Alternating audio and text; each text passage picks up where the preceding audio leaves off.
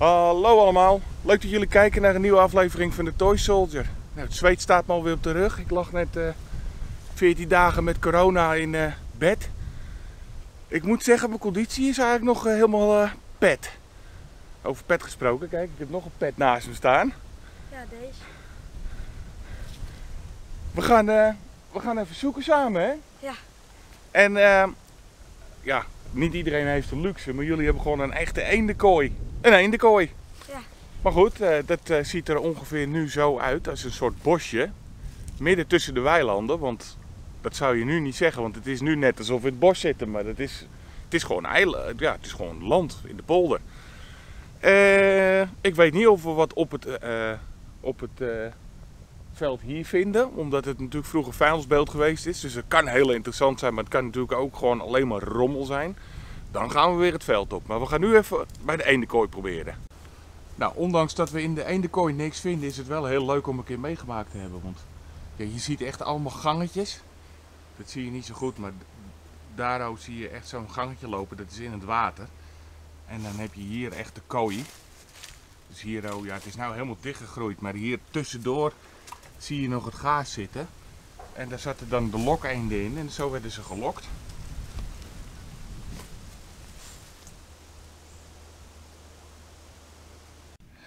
Er zijn toch altijd nog steeds mensen die altijd vragen van wat voor programma loop jij en hoe loop jij? Nou, dat verschilt heel erg. Eh, wat voor land ik loop, waar ik zoek, eh, hoe diep het ligt, hoeveel ik vind, eh, is de schrikdraad, noem het allemaal maar op. dus ik eh, ben nooit zo heel erg duidelijk over hoe ik loop. Maar ik wil het best wel even laten zien. Ik loop nu op diep. Dat is programma 6 en daar heb ik eigenlijk heel weinig aan gedaan. Ik heb eh, sensitivity op 93 staan. De frequency shift, ja die staat op 6, maar dat zegt niet zo heel veel. Iron volume, eh, die staat bij mij op 3, dus dat hoor ik net, eh, net een beetje erdoor brommen. De reactivity, dus de snelheid, heb ik op 2,5 staan. En dat komt omdat het een diep programma is. Dus rustig zwaaien en eh, gewoon lekker de machine het werk laten doen. De audio response heb ik wat hoger gezet, omdat ik niet precies de nuances hoef te horen tussen iets wat heel diep ligt of iets wat minder diep ligt. Ik wil gewoon alles goed horen, want ik ga toch wel graven. De discriminatie staat precies op 0.0. En de sensitivity zijn we dan weer. Dat is een beetje hoe ik loop. En dan heb ik eh, door middel van deze twee ingedrukt te houden, heb ik eh, eh, ervoor gezorgd dat de targets die binnenkomen lekker groot eruit zien. Dat is het.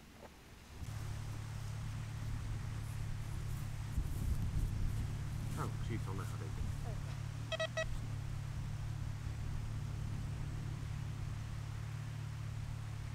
Stukje lood. Ja. Stukje lood.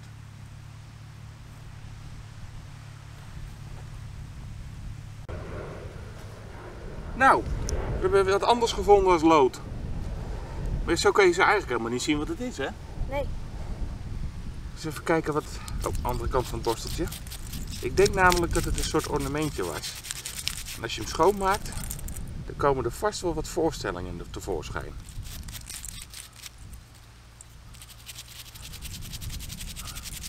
Het is een beetje gekreukeld. Kijk, bloemetjes. Oh ja, Zie je dat? dat is wel mooi. Ja, hier, dit is het stammetje en dit zijn de bloemetjes, blaadjes. Zien jullie het thuis? Misschien?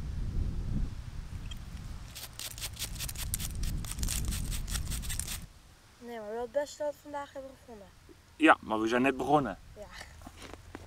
Het allerbeste moet nog komen. Daar gaan we vanuit. Ja, hoop. Deze is in ieder geval wel leuk. Nou, we dachten ijzer, maar er zat toch nog een ander soort geluidje tussendoor. Nou, dat klopt ook wel, dit is ijzer. En dit is dat andere stukje geluid er tussendoor. En dit is een, eh, ja, het is van koper denk ik. Een wiel van een control. En ik denk dat dat van zo'n eh, kroonluchter of zo'n lamp was. Dus hier zat een touw doorheen. Dit, dit, dit zat hiernaast. Ergens zoiets. Dus hier zit een touwtje erheen. En als je dan trok, dan ging die omhoog of omlaag. En zo kon je de lamp omhoog en omlaag zetten. Dichter bij de tafel. En als je eraan trok, dan ging die omhoog en dan ging die verder van de tafel af. Dus eh, of je gezellig met zweerlicht wilde eten of dat je een potje kaarten wilde met een vol verlichte tafel, dan kon je, kon je zo aan het touwtje trekken. Ja, daar hebben we weer iets gevonden waarvan we niet echt weten wat het is. Jij dacht een sleutel misschien? Ja. Of een, Van een hangertje of een soort priem. Want hier is iets afgebroken, dus het was groter. En het is wel mooi versierd. Tenminste, dat denk ik. Ik kan niet zo goed zien wat de versiering is. Het lijken ook wel weer iets van bloemetjes en dingetjes. Ja, nou als jullie het weten horen we het graag. Wij weten het even niet. Oh, wat een joekel van een vingerhoed.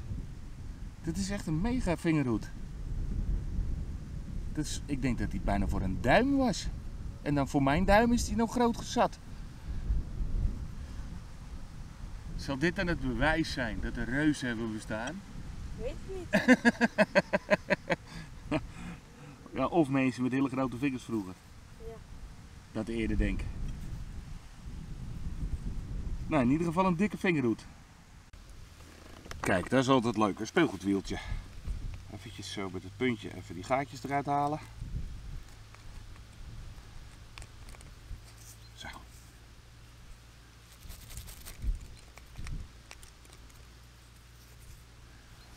Ja, een speelgoedwieltje. Tijd geleden ik er een gevonden had. Dit is wel leuk. Deze hebben van die, eh, ja, hoe zeg je dat? Van die, van die eh, rare meedraaiende spaken. Dit zijn nou van die typische vondsten die hier echt helemaal thuis horen. Beetje de voorganger van de Douwe Egberts Tin en aan de binnenkant van, eh, gewoon van ijzer. En dan met zo'n eh, schuin randje met bloemetjes erop. Honderden vind je ervan.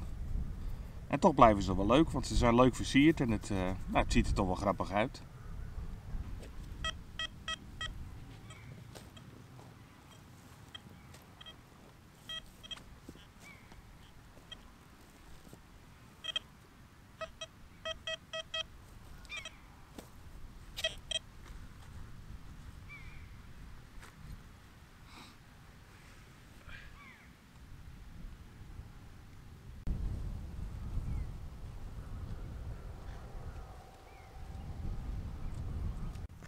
Net dat ik mezelf zat te bedenken van ik heb nog helemaal geen muntjes gevonden, komt er een muntje de grond uit.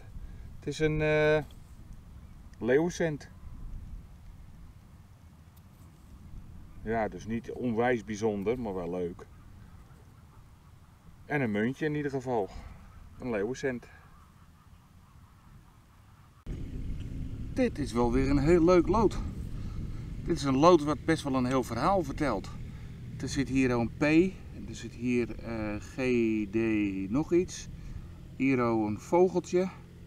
Hier wat letters. Hier de Leidse sleutels. Dus het is gewoon. En aan de andere kant eh, staat de welgevleugelde vriend. Dus dit is echt wel weer een lood wat heel veel vertelt. Leuk. Leuk, leuk, leuk. Ik denk werkelijk dat dit de grootste edelsteen is die ik ooit gevonden heb. Kijk, wat een jetser. Ik denk dat hij op een ring zat. Als ik zo de onderkant bekijk. Ik heb hem nog niet schoongemaakt. Ik heb er nog niks mee gedaan. Wat een knetser van een steen. Als die toch eens echt zo zijn, dan kan ik wel stoppen met werken. Gigantisch, wat een apparaat joh. Hij is mooi helder ook. Ja, het vuil wat er ook zit en wat eronder zit. Maar ik weet eigenlijk niet eens of, of, of wat er eh, omheen zit, of dat zilver is. Ik ga het thuis eh, even bekijken. Ik ga het zo even afborstelen. Ga even kijken wat het is. Wat een steen hè? Gigantisch. Normaal zijn duiten helemaal niet zo leesbaar, maar deze is best wel... eh, Kijken of ik het een beetje in beeld kan brengen. Overijssel. Hartstikke leuk. Aan de andere kant. Nou, is ook nog redelijk. Voor de duit die je hier normaal vindt, is dit best wel een eh, hele redelijke munt. Ja, leuk. Eindelijk weer eens een duit waar je tenminste goed op kan zien wat het was.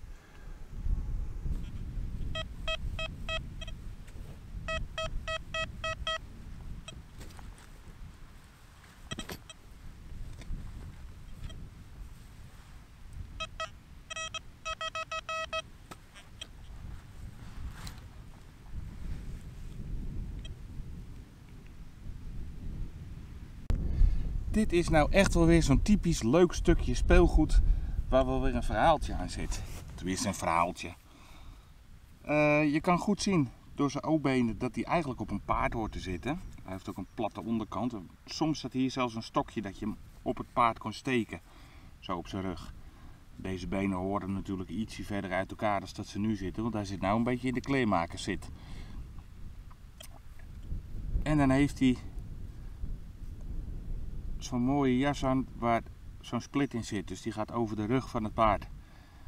En hij heeft een gat in zijn nek. En dat gat in zijn nek, dat is om verschillende hoofdjes in te steken. Dus uh, als je een uh, eentje met een cappy wilde, dan deed je een hoofd met een cappy erop. En eentje met een hoed, dan deed je er eentje met een hoed op. Wilde je een kale of eentje met lang haar, hup, nieuw hoofdje erop en klaar. Hartstikke leuk. En het is ook wel weer een robuust stuk speelgoed. Hij is groot. Hij is redelijk groot. Want als je ziet hoe groot dit soldaatje is, dan kan je nagaan hoe groot het paard moet zijn. Want dat moest natuurlijk in verhouding. Dus best wel een stevig, uh, stevige soldaat. Leuk. Heel leuk. Ik ben het nog niet verleerd. Zo. Ik denk dat ik er een end aan brei. Ik ben eigenlijk best wel op. Na zo'n lange tijd uh, toch weer even flink in de weer geweest. Toch wel leuk gevonden. Lekker bezig geweest. Het was prachtig weer. En uh, de eigenaar van dit land die vroeg net of ik een bakje koffie wilde. Dus uh, daar zeg ik A geen nee tegen en B is het een mooi moment om te stoppen. Jongens, bedankt voor het kijken. Vergeet niet te abonneren en tot de volgende keer.